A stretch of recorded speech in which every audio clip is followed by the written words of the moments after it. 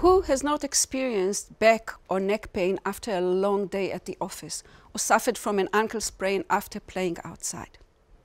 This is not only because you're not training enough or sitting for too long in front of the computer, but also because during human evolution we moved from walking on four to walking on two legs.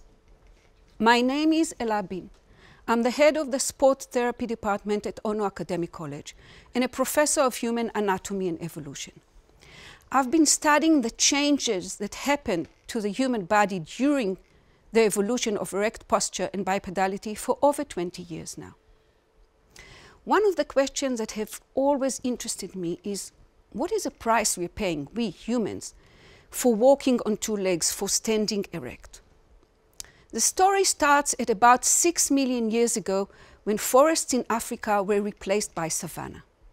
The common ancestor of humans and chimpanzees lived in Africa at that time and walked on four legs, just like chimpanzee.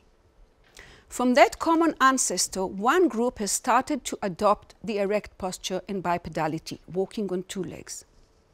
In that process of becoming bipedal, a few changes happened the head has moved above the pelvis in erect posture as opposed to the head in front of the pelvis in chimps. The pelvis or the pelvic outlet, the outing of the pelvis that is facing backwards in chimpanzee is facing downwards in humans. The spine, which is straight in chimpanzee, has become curved in humans.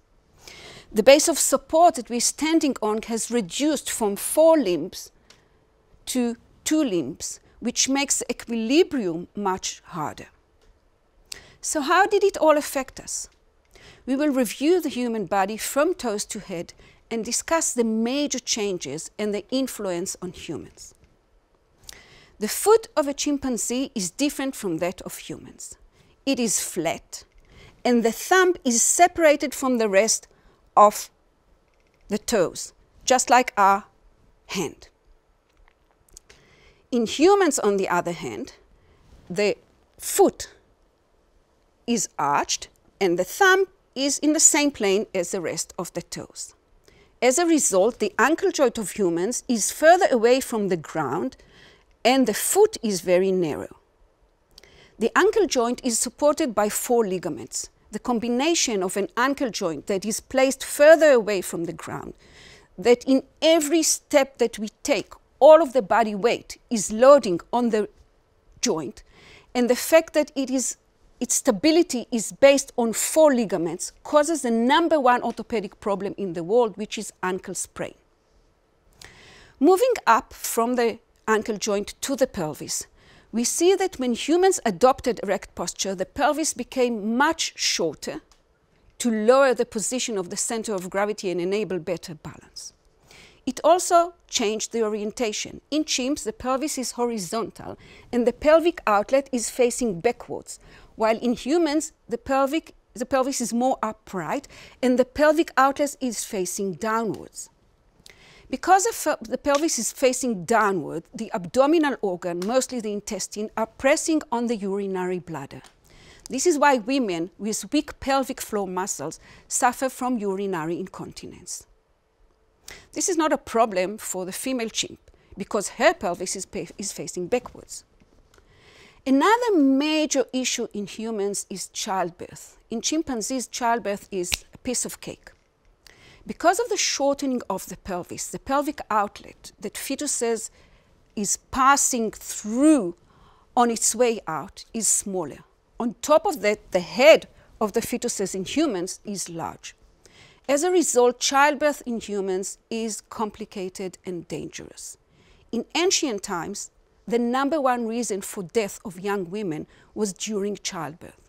Fortunately, we find a solution for this problem, which is already performed by the Romans 2,000 years ago, which is caesarean surgery. Above the pelvis, we have the vertebral spine. The sinusoidal shape of the spines with a pronounced lumbar lordosis and cervical lordosis also results from bipedality. This shape, as opposed to the straight shape of the spine of chimps, is built for shock absorption and preventing the forces coming from the ground, at every step to reach the head. This sinusoidal shape, in combination with the weight of our upper body and the head, is one of the reasons why we suffer so badly from back and neck pain.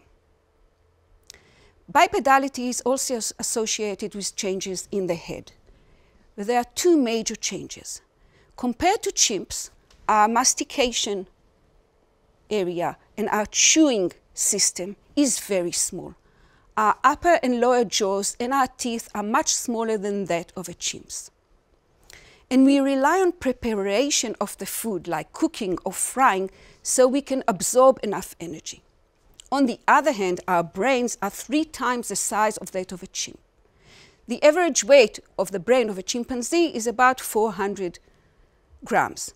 The brain of an adult human is about 1200 to 1300 grams.